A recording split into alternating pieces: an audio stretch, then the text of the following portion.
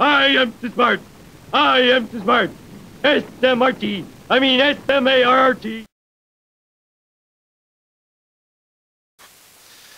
All right, guys, welcome to the notes on 4.4. Uh, this is the fourth attempt at this video notes because I keep messing up the the technology. I apologize if there's any heckling. Hopefully the heckling will be remain to a minimum because the students that in, are in here would like to see their families again one day. Uh, okay, sorry. I've threatened them adequately and they will now be quiet. All right, so parallel and perpendicular lines. Hopefully you have some knowledge of this stuff, just of the words themselves. Parallel lines are non-vertical parallel lines. Non-vertical parallel lines have the same slope. So um, vertical lines have no slope. They are all parallel, but they have no slope. So vertical lines, parallel lines are lines with the same slope.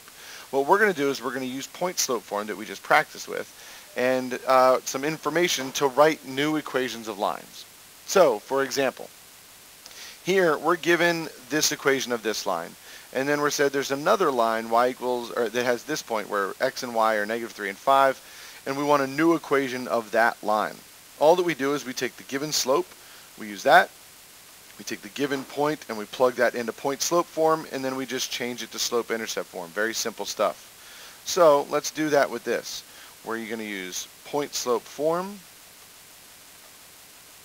and then I'm just going to substitute everything in. So y minus the y value. The y value is negative 1. So y minus negative 1 is y plus 1. The slope is the same as this slope because they're parallel.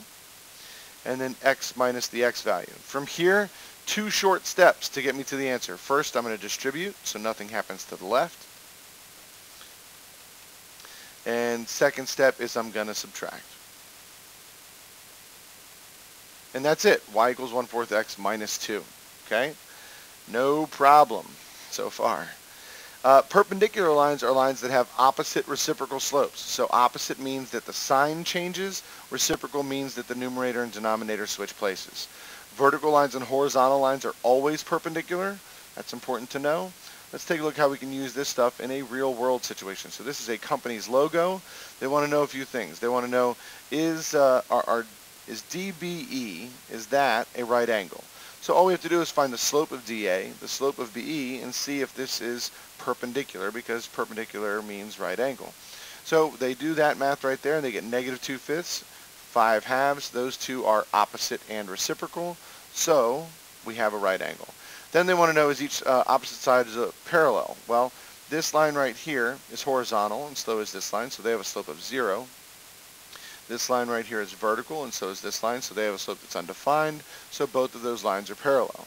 We're going to use a, a, a real-world example of the tree house. We have some beams that have been represented by QR and ST, and we want to know are the beams perpendicular. So what we're going to do is we're going to find the slope of QR, and we're going to find the slope of ST, and use that to determine whether or not the lines are perpendicular. So QR, the difference between the y's, we have 2 minus 8, and the difference between the x's is negative 6 minus negative 1. So this equals negative 6 fifths. Sorry, negative 6 over negative 5, which equals 6 fifths. And then the slope of st, we have 6 minus 5, and we have negative 3 minus negative 8, so this equals 1 fifth. These two are not opposite. Uh, whoops, whoa, whoa, whoa, don't erase. These aren't opposite and they aren't reciprocal, so the lines are not, okay? These lines are not perpendicular because we don't have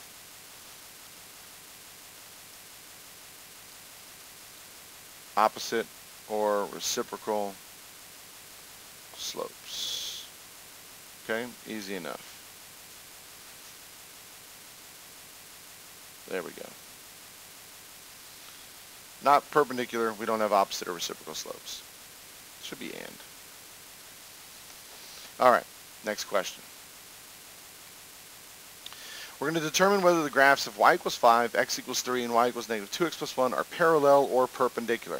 I'm going to show you how to do this problem in your calculator. I think that's a worthwhile thing for us to know.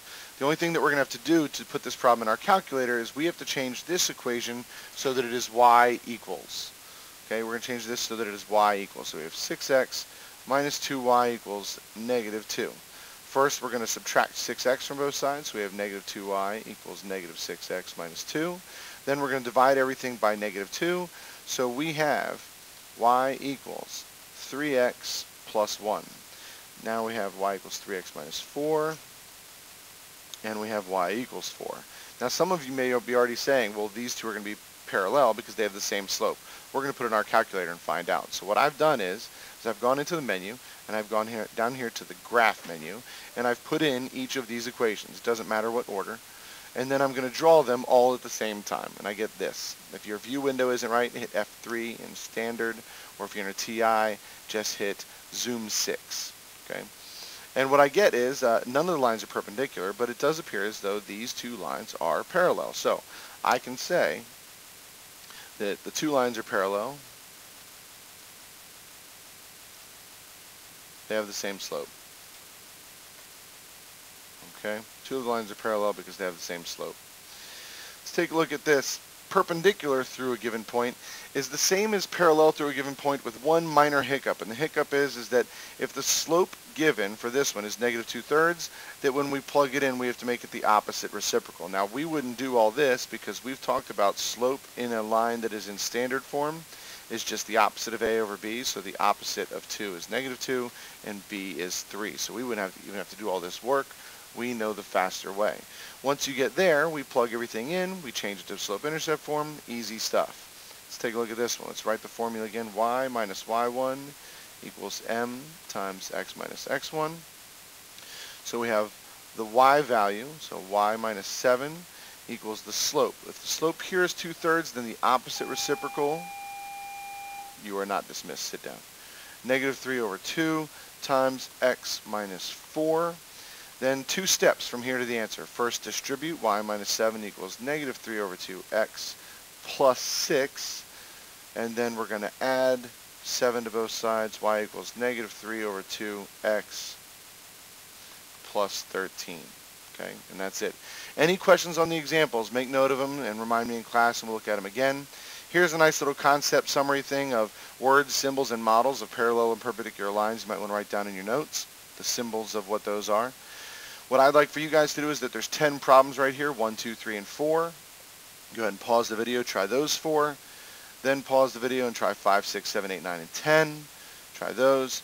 I'll take any questions from those when you get to class next time. This has been really fun. Hopefully I don't have to make this video again for the fifth or sixth or seventh time um, because my class has been telling me that I look like an astronaut for the better part of the day. So hopefully this worked. If it did, great. See you next time. If it didn't, I will have, uh, I don't know, I will destroy this computer and you'll never see this video. Bye.